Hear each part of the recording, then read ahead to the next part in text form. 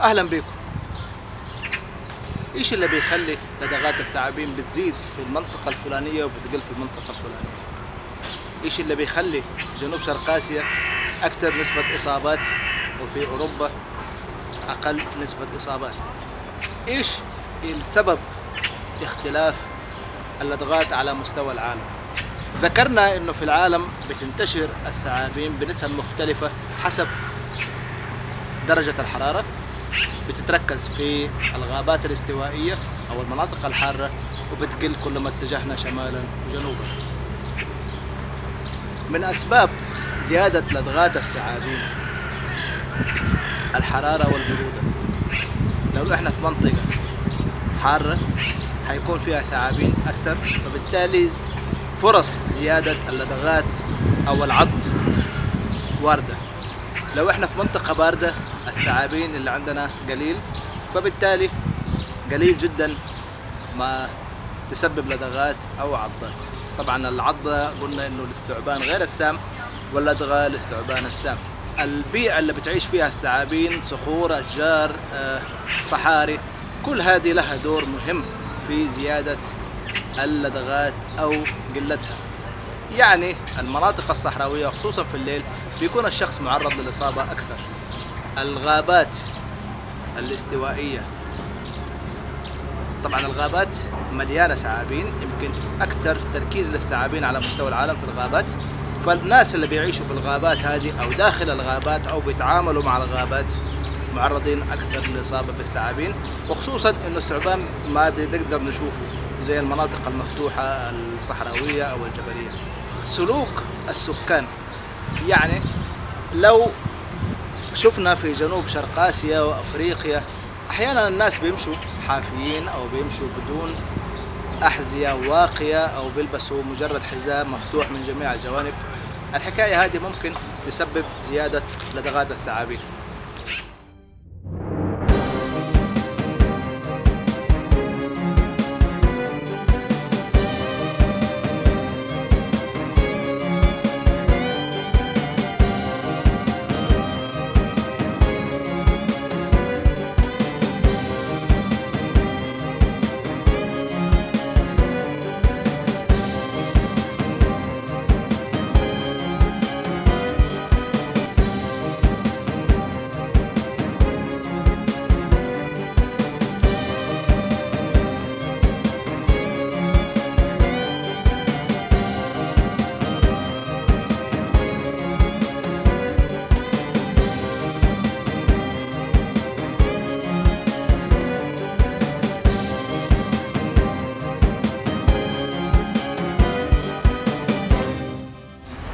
واحد شغال في غابة مثلا أو شغال في منطقة يكون فيها ثعابين بشكل كبير ممكن يتعرض لأضغاط أكثر.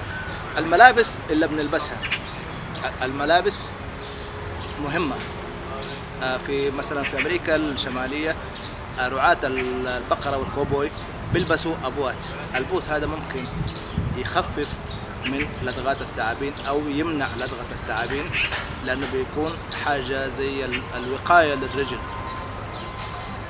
أو بالعكس في المناطق اللي بيلبسوا فيها أشياء مفتوحة ممكن يتعرضوا لدغات ثعابين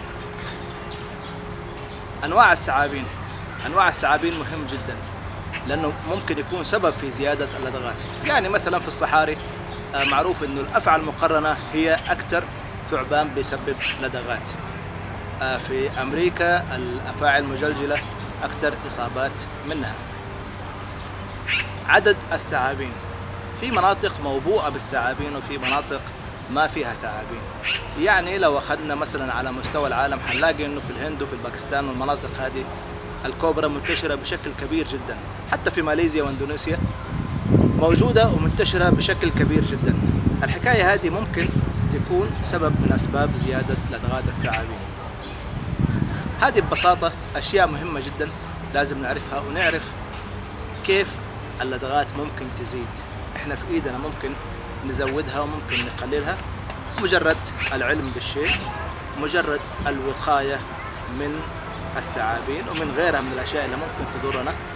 طبعا العلم مهم جدا. لازم نعرف إيش الثعابين اللي موجودة في المنطقة اللي إحنا بنتعامل فيها. عشان نعمل الوقاية المناسبة لها أتمنى لكم السلامة وأتمنى إن شاء الله إنه ما في يوم من الأيام تقابلوا ثعبان أو تتعرضوا للدغة ثعبان أو حتى لعضة ثعبان. ربنا يحمينا ويحميكم إن شاء الله. شكرا لكم. أعزائي متابعين اليوتيوب لو عجبتكم الحلقة وحابين تتابعوني على قناتي ويوصلكم كل جديد الرجاء الضغط على زر سبسكرايب. تحياتي.